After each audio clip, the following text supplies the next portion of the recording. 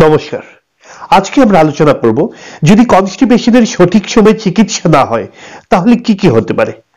Piles তৈরি হতে পারে এবং সেখান থেকে রক্তপাত এবং অন্যান্য সমস্যা হতে পারে।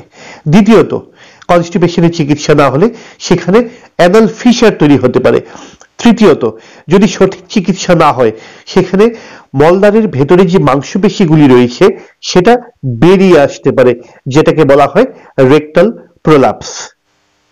চতুর্থত যদি ক্রনিক কনস্টিপেশন হয়, তাহলে সেখানে দীর্ঘদিন যাবৎ পায়খানা জমে গিয়ে শক্ত হয়ে মলদার আটকে যেতে পারে বা সেখানে একটা ব্লকেজ হতে পারে, যে, যেটাকে বলা হয় ফিকাল ইম্প্যাকশন তাহলে কনস্টিপেশন হলে খুব সত্তর তার সঠিক চিকিৎসা করিয়ে নিতে হবে।